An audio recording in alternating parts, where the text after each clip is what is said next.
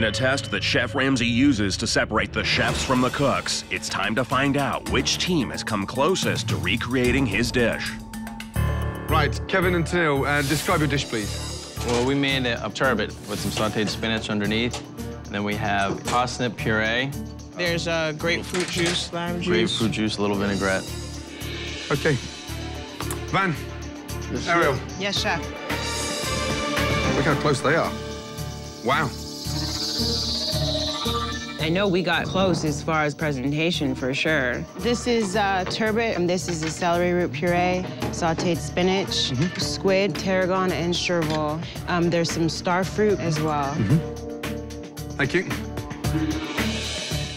So we've got sauteed turbo Yep. on a bed of blanched spinach mm-hmm. with a parsnip, Parsnip puree, mm-hmm. Mm-hmm. We also have bits of calamari tarragon, chervil. and then passion, Passion fruit. fruit. sauce. Passion fruit. Yes. Okay, good. I feel really good about it. And I think it was a beautiful partnership. Very, very interesting indeed. First of all, congratulations, each and every one of you. Turbot, well done. But nobody had the puree. Celery root, parsnip, parsnip. The puree was a white onion. It was sweet.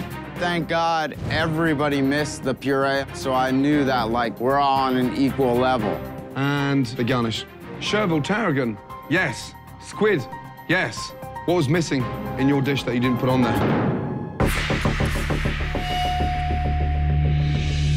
Ah, man. We forgot the calamari.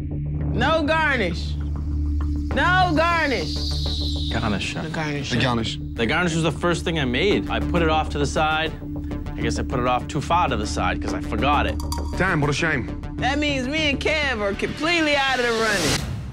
Fuck. Fuck. Fuck. Okay, Ariel and Van, and Suzanne and Dave. Very, very, very close. Very close. There's one big difference. Only one of you got the fruit that was in the base of the citrus vinaigrette, star fruit, or passion fruit. This is it. It's the passion fruit that's gonna kill it. So, the winning duo is Dave and Suzanne. Thank you, chef. The sauce is passion fruit. Yes, it was. Yes, it was. Sorry. Suzanne's over there. Oh, I know, chef. I know. Zip it up.